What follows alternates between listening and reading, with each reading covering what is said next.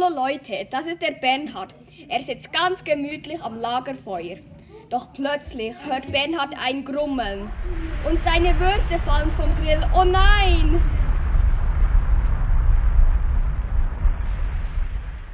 Fährt sofort in die Stadt und schnell zu sich nach Hause. Die Lava kommt nicht in die Stadt, denn sie ist auf einem Hügel. Sobald er zu Hause ist, fragt er sich, wie ein Vulkan ausbricht und er entsteht. Das wollen wir euch jetzt erklären. Die Magmakammer ist voll mit Magma. Und dann schiebt sich ein Stein oder Erdplatte in die Magmakammer und presst die Magma nach oben. Dann bricht der Vulkan aus. Die Erdkruste besteht aus riesigen großen Platten. An den Rändern der Platten kann flüssiges Gestein nach oben dringen. Ein Vulkan aus Magma und Asche entsteht.